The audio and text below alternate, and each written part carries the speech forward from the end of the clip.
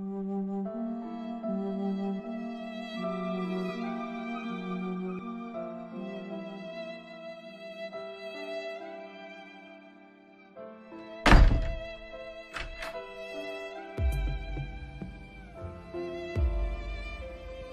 आणि लॉकडाऊन हे शब्द ऐकावे लागतील आणि त्याप्रमाणे प्रत्यक्षात प्रत्येकाची तशीच अवस्था होईल असं कधीही वाटलं नव्हतं.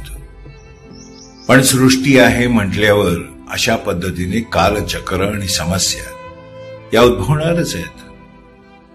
असो जन्म आणि मृत्यूच्या चक्रव्यूहात आज माणसाला ज्या यातना भोगायला लागत आहेत त्या मन हेलावून टाकणाऱ्या अशा आहेत. आज भयंकर परिस्थितीला सामोरं जातोय आपण. कधी कल्पना देखील केली नव्हती की अशा पद्धतीने बंदिस्त व्हावं लागेल. आणि तेही आपल्याच घरात. पण एक सांग याला बंदिस्त पण म्हणून नाही चालणार कारण काय माहिती? हे आपल्याच फायद्यासाठी सुरक्षिततेसाठी. मी तेच तेच नाही सांगणार. काय पुन्हा तेच तेच रटाळ? आणि सर्वजण आपल्याला आपल्या परिवाराच्या सुरक्षेसाठीच तर सांगतायत ना? असो. हे पोलिसांचे फोटो पत्रकारांचे फोटो डॉक्टरांचे फोटो नर्स वॉर्ड बॉय सफाई कामगार भुकेलेले रोजंदारी कामगार या सर्वांचं कर्तव्य बजावतानाचे फोटो जर का पाहिलेत ना तर आपल्याला कळेल की आजाराचं गांभीर्य काय आहे ते. खरंच सोपं नाहीये हो. त्रास हा सगळ्यांनाच आहे त्यात वाद नाहीच आहे. पण थोडेच दिवस आणि तेही कटाक्षाने पाळले ना तर आपणही सुरक्षित राहू.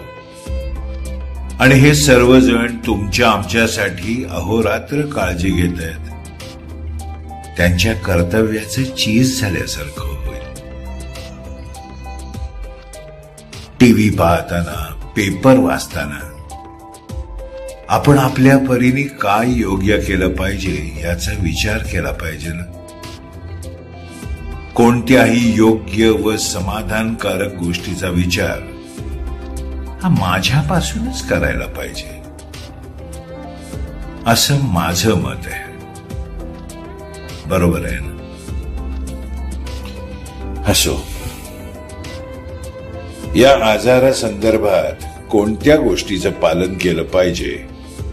या सर्व सूचना वेळोवेळी तुम्हाला आम्हाला मिळत आहेत आणि त्यांचं तंतोतंत पालन करणं हे आमचं आद्य कर्तव्य देखील आहे.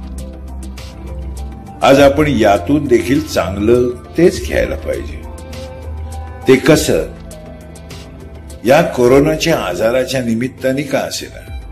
पण आज जो तो आपापल्या परिवारासोबत आहे. गप्पा मारतोय एकत्र जेवण करतोय मुलाबाळांबरोबर खेळतोय सगळ्यांबरोबर आपल्या जुन्या आठवणी शेअर करतोय.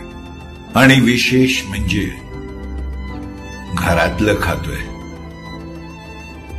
आज कोरोनामुळे बदललेला माणूस पाहायला मिळतोय आपल्याला.